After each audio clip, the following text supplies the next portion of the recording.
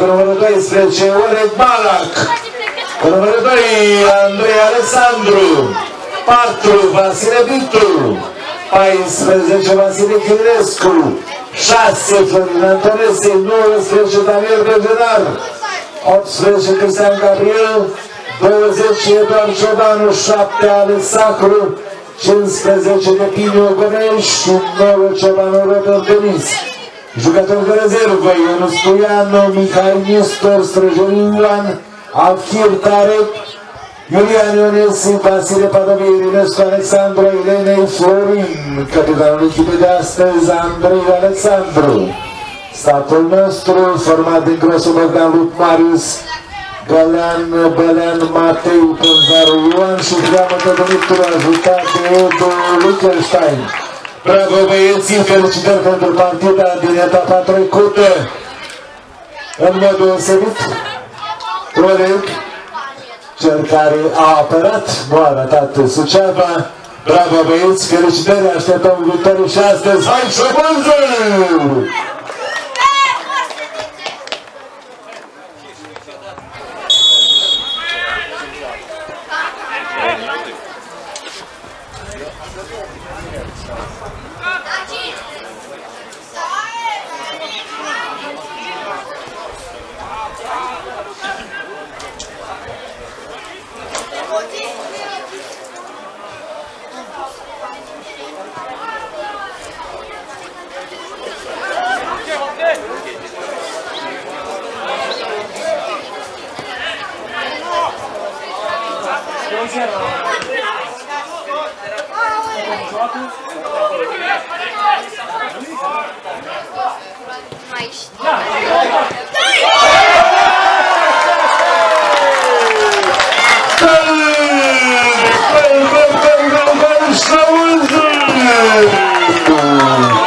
Puncte importante astăzi, un rezultat asigurat chiar din primul minut.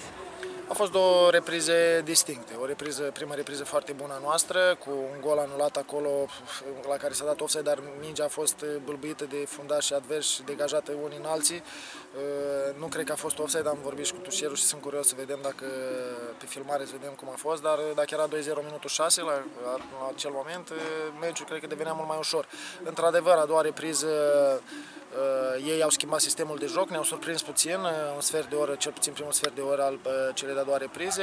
Am schimbat și noi ceva apoi, uh, prin uh, introducerea lui Padovei și prin introducerea lui uh, Afkir uh, și am reușit să ținem mijlocul terenului. Au fost și câteva situații bune pentru noi pe contraatac a doua repriză, dar uh, una peste alta este o victorie și nu poate decât să mă bucure. Suntem pe drumul cel bun.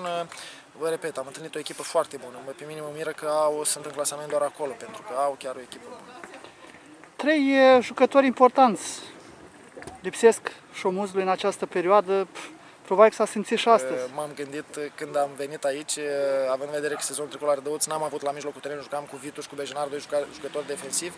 Mi-am dorit foarte mult să am niște jucători ofensivi, niște jucători calitativi din punct de vedere tehnic uh, și mă bucuram că avem pe Julei, pe Danilă, pe Pitic, care era într-o formă foarte bună la momentul accidentării și chiar vorbeam în vestiar. Trei jucători avem și noi care scot ușor om din joc și aceia ne lipsesc. Asta este, mergem înainte, încercăm să-i recuperăm cât de repede putem, dar va mai dura recuperarea lor câteva săptămâni. Sperăm ca pe finalul acestei, acestui sezon de toamnă să ne ajute. Până atunci trebuie să strângem rândurile, să luptăm cu forțele pe care le avem și să fim pragmatici, să scoatem maxim din fiecare meci. Vorbești de pf, finalul turului, dar mai urmează încă cel puțin 8 etape. Pf, Urmează derbiul, următoarea etapă, jucăm la lider.